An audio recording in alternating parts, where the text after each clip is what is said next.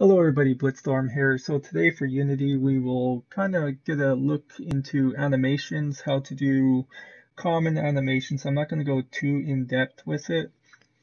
But basically, if you guys have a racing game and you are doing loops and it's kind of like Mario Kart or Crash Bandicoot Racing and you have those boxes that rotate on one spot and float in the air, we can do something like that also, if you're doing like a platform, a 2D platform, or maybe a 3D platform, and there is a floating platform between two cliffs and it goes back and forth, animations like that we'll look into.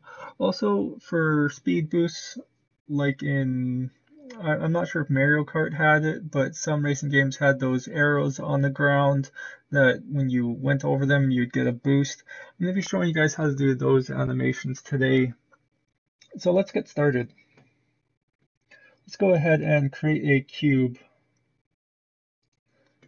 And I'm just going to uh, scale this down a little bit. Let's uh, just scale this to 0.5. 0.5, 0.5. And let's just call that good enough. So this will be a floating box that we will be doing. So we're just going to leave it in the air here. Now what we're going to do is we're going to actually attach a animation to it. Now there's two ways you can do it. You can do it up in the uh, components or you can actually just hit add component here miscellaneous maybe? Animation, yeah. So there's going to be an animation. Let's add that. Now, as you can see, there's no animation clip. So we will actually make that. Now, how we're going to make an animation is by going to, uh, we need to open up the animation window. So that would be this window right here. I'm actually going to drag and drop it on the bottom here. You can put it wherever you want. So Unity has a pretty good animation program in it. It's pretty much like 3D Studio Max's animation.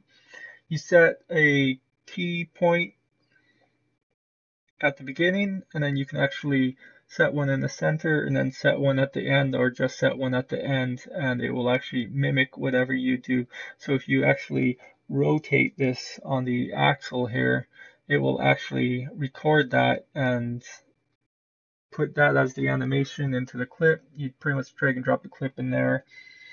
And to make it spin at different speeds, you can actually just uh, adjust the timer here. Uh, so I actually prefer prefer using Unity animation instead of 3D Studio Max. It depends actually what I'm doing, but basically sometimes when you export animations out of 3D Studio Max, they get a bit mixed up and then you kind of have to redo them in Unity. So I just do them in Unity if I can. If it's a humanoid model, then that's a totally different story. But if it's something common like this or a platform or something, it's just easier to do it in Unity. Uh, so it says to begin animating cube, create an animation clip. So we're going to create it. Now it tells you right here cube. So that's what we're going to be animation. Now here's where you can call it whatever you want. Let's just call it uh, power up. Oops.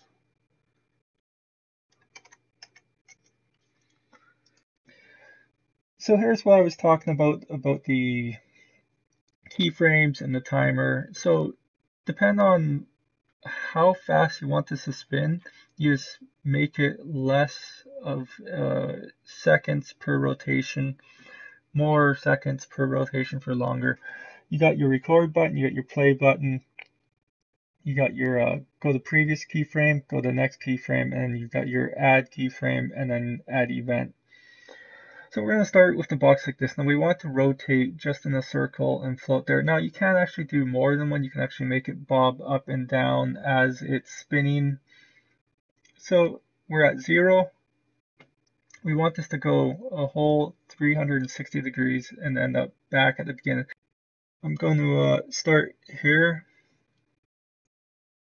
and I'm just going to grab it and I'm going to spin it to, I'm going to say 15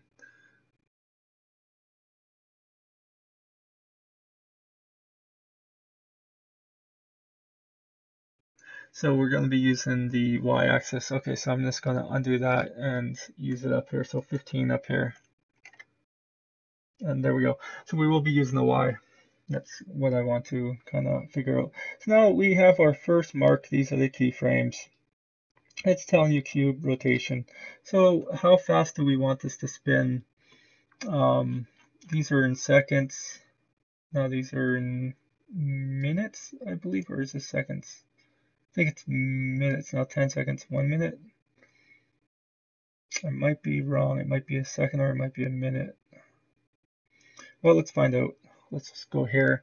So we're at 15.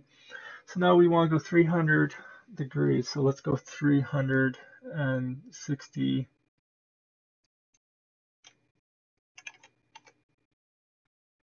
degrees.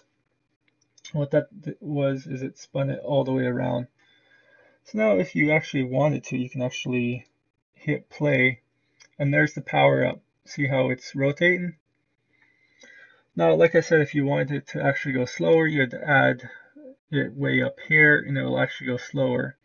So basically the power up, if it was a rocket and then you had pictures of the rockets at the side, or if it was a coin, you can actually put uh, gold coins in there like a Sonic, like in Sonic there. Whatever, whatever you wanted. And that's uh, basically it for that. Now let's slow it down a bit. So I'm going to actually uh, stop that so I hit the play button again. You can actually grab the keyframes that you want. So say I want it double as long, I'm just going to actually bring it there. And now it's slower than what it was. But uh, you see that little thing right there? There's a little glitch. So that's, that's pretty easy to fix. And as you can see up here, it is spinning. So go here and just edit this one. I'm going to put it at zero. And now let's uh, let's try that. See, and there we go. So zero works good. Uh, sometimes when I was working with windmills and stuff like that, I would actually have to set it back. I think that's because I imported the animation also from 3D Studio Max. But there, so we're starting at zero, we're going 360 degrees around. So if this was a power up, now if you want, you can actually add another animation and add it bobbing up and down a bit. So let's go ahead and get this to be on a loop. So now for that, uh, let's see, where would it be? I wonder. Um, all scripts, all prefabs, all models, all materials. No. Um, So I don't know if I can do it in here. I if I can click. Um, okay, yeah. So if you clicked on the uh, power up animation, you can actually get into here. Normally, uh, how I did it is I actually would find the file and then double click on it. Either or will work. So all you do is you click loop. So it's on default, which is to spin once around and stop, which is pretty much once. Loop is it will continuously go in a circle. Ping pong is it will go around once and then go back around the other way. And we will be getting into that when we do the platform here. So let's go ahead and hit loop. Cube. Let's click on cube. Oh, uh, play automatically at start. For some reason, I got unclicked. So I'm just going to uh, click that. So there we go. We got our power up let me get a better angle. We got our power up spinning. You can create a new animation or you can actually do it in here in the same file.